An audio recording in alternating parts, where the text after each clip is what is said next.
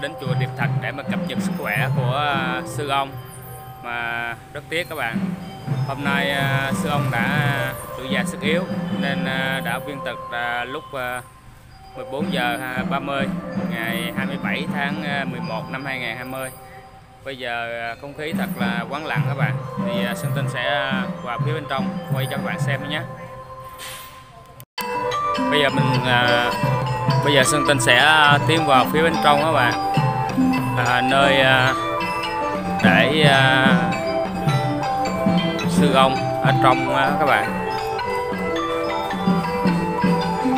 Thì à, cách đây à, vài hôm Sơn Tinh có à, cập nhật về à, sức khỏe của sư ông là tuổi già sức yếu. Nay à, vào lúc à, 14 giờ 30 thì ờ, ngài không qua khỏi nữa đã viên tịch rồi các bạn. À, thọ được à, uh, 86 tuổi các bạn bây giờ mình uh, tiến vào phía bên trong quay sơ uh, các bạn xem ha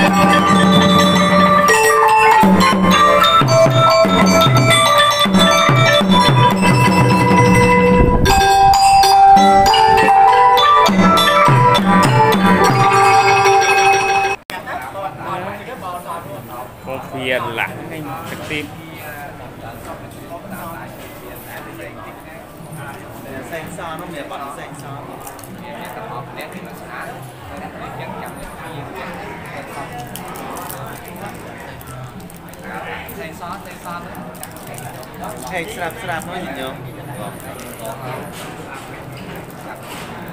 đây thì có lúc ha គណៈកម្មការមួយបរិស័ទដែលជាសិស្សកូនកូនចៅនោះយើងវាមានសេះសទាំងអស់គ្នាអូចឹងណាមើលឃើញវាស្រស់ទាំងអស់គ្នាវាស្អាតណាស់មានឃើញវាសម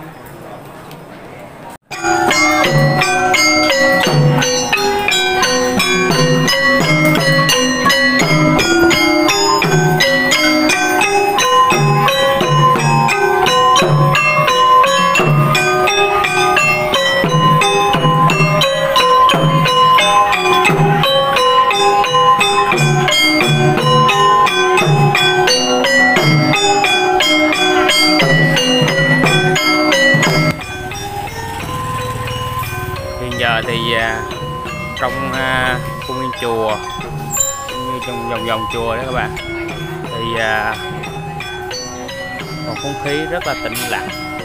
À, các bạn.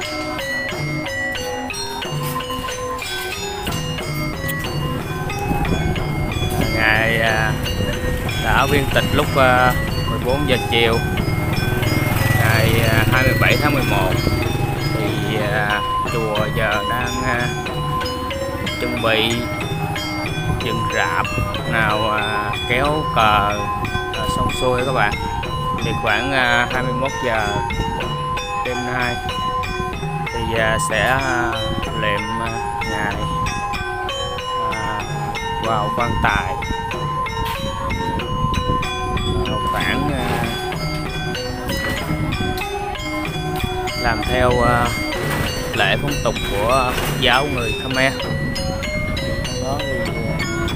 có các vị chư tăng tụng kinh đó các bạn.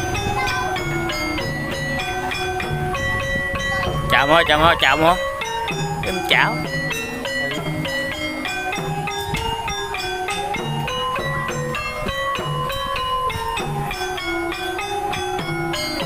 Và phía bên đây là nơi à, sẽ à, ba ngày sau sẽ à, diệu hành à, đem à, sư ông qua bên đây. Khoảng à, một đêm nữa mới đêm thứ hai. Tức là 30 các bạn. 30 hay là 1 tháng 12 gì đó.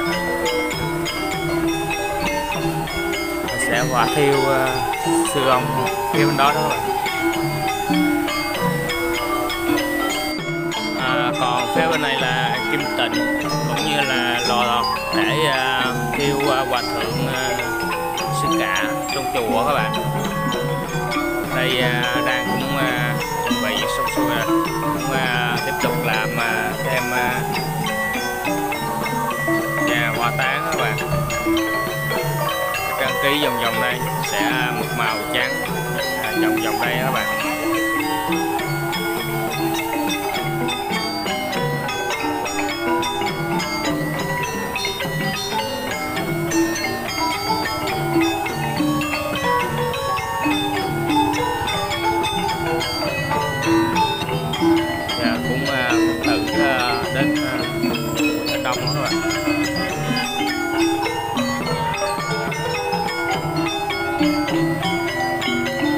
Video uh, Xuân Tinh sẽ à, kết thúc tại đây và sẽ cập nhật à, video tiếp theo cho các bạn xem.